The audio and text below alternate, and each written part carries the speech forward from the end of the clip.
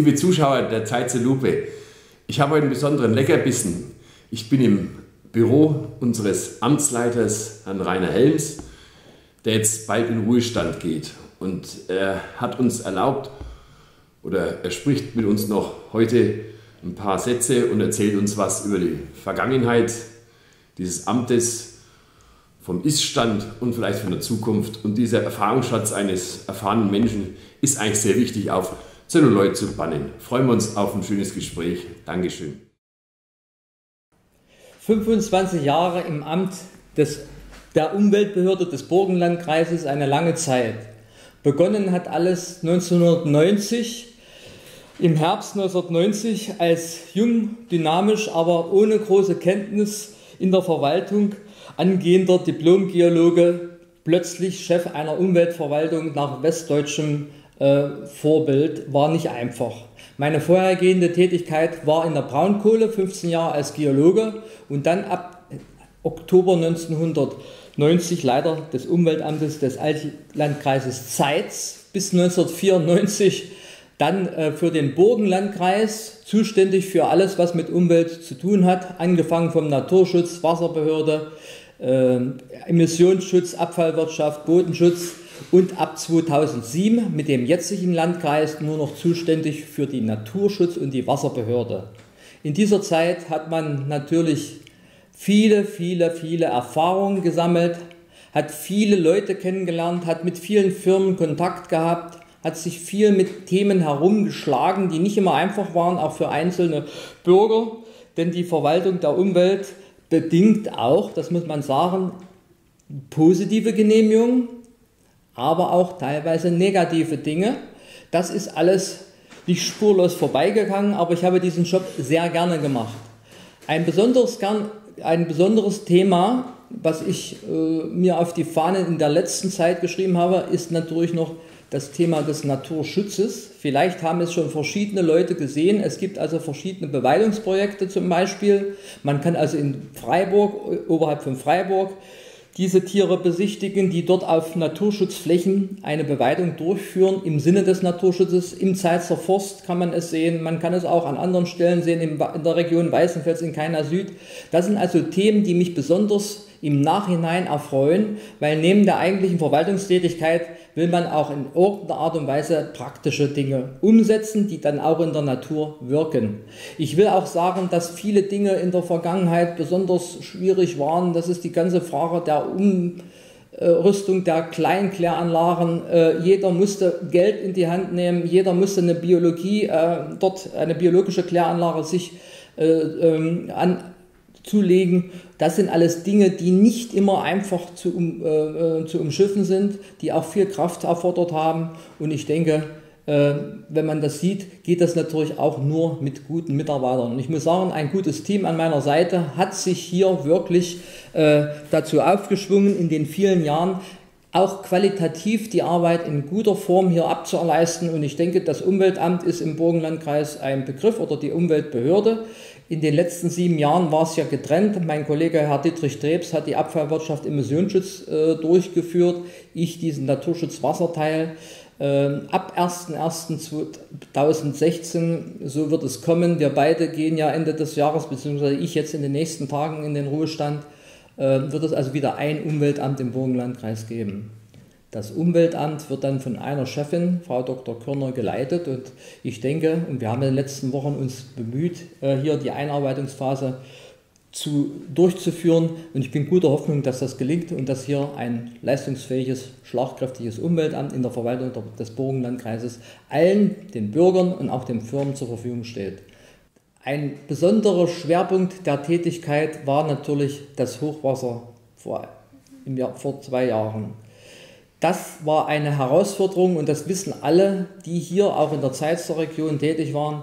Das sind Dinge, die also, sagen wir mal, weit über dem normalen Maß hier zu Schaden zugefügt haben. Und wir haben gemeinsam mit den Kommunen, gemeinsam mit, den, äh, äh mit, mit, mit, uns, wurde versucht, hier zu reagieren. Ich kann aber eins sagen, und das ist das besonders äh, Erfreuliche, äh, aus diesen ganzen Ereignissen hoffe ich und wünsche mir, dass also diese ähm, Rückschlüsse, die hier gezogen werden, auch schnell umgesetzt werden. Also die entsprechenden Hochwasserschutzmaßnahmen, was die Bevölkerung ja wünscht, dass das umgesetzt wird. Allerdings muss ich sagen, und da muss ich auch den Landesbetrieb für Hochwasserschutz in Schutz nehmen, im wahrsten Sinne des Wortes, es erfordert alles eine sorgfältige und ausführliche Planung. Das ist im deutschen Recht nicht zu umgehen. Und deshalb bitte ich auch um Verständnis und werbe auch um Verständnis, dass gemeinsam mit der Stadt Zeitz, auch, äh, die ja diesen Hochwasserschutzbeirat gegründet hat, wo die Themen auch erläutert werden, wo sie auch mit der Politik diskutiert werden, dass dieses Thema praktisch breit diskutiert wird. Aber ich bitte um Verständnis, hier wird wirklich zügig gearbeitet, aber nur im Rahmen der rechtlichen Möglichkeiten. Das ist also ein wichtiger Aspekt äh, aus meiner Erfahrung. Und äh, in diesem Sinne wünsche ich, dass in den, beim nächsten Hochwasser die Hochwasserschutzanlagen, auch die Rückverlegung von Deichen und andere Maßnahmen, die hier mit viel finanziellem Aufwand geplant werden, umgesetzt sind und dass praktisch der Kelch, der an uns nicht vorbeigehen wird, also es wird immer Hochwasser geben, dass er aber so vorbeigeht, dass es also nicht zu diesen extremen Auswirkungen und Schäden kam wie in der Vergangenheit. So, was macht ein Amtsleiter in der Zukunft? Das ist natürlich auch eine Frage.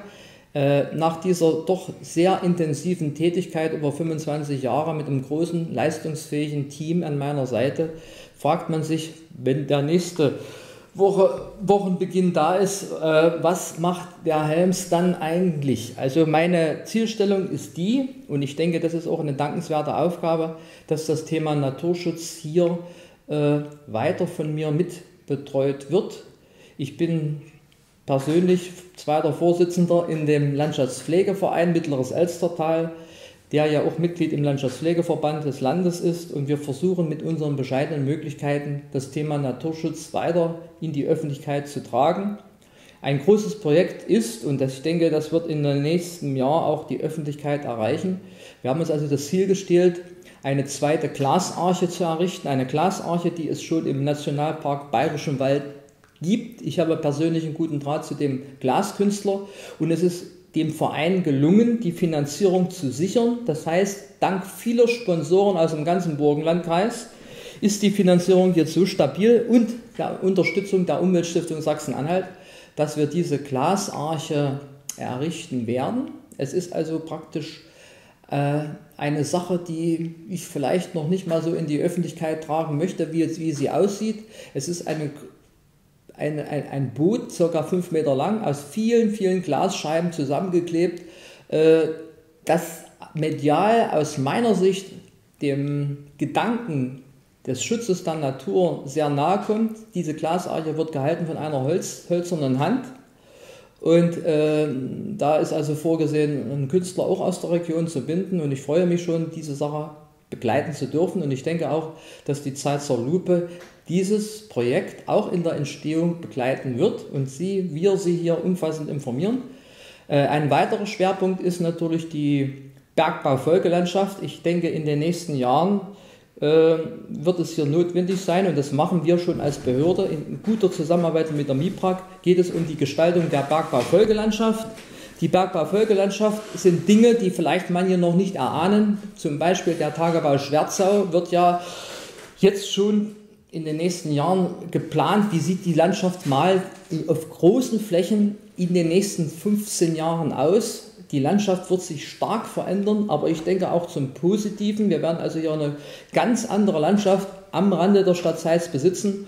Und es lohnt sich hier auch, dass sich die Kommunen mit einbringen und wir gemeinsam mit der MIPRAG diese Gestaltung dieser Landschaft diskutieren und auch dann ordentlich planen. Und ich denke, da wird sich der Landschaftspflegeverein als Partner, was das Thema Naturschutz betrifft, mit einbinden.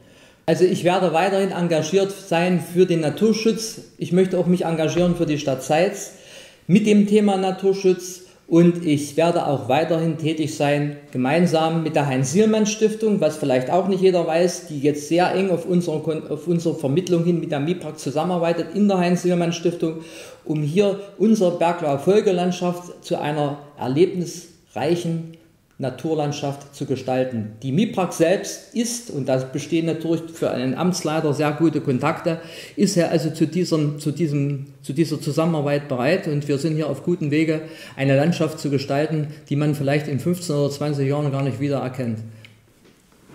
Und äh, in diesem Sinne wünsche ich auch der Stadt Zeitz, dass sie sich weiter sehr gut entwickelt. In diesem Sinne möchte ich mich noch für das Interview bedanken und Danke auch Herrn Treblo für die Unterstützung.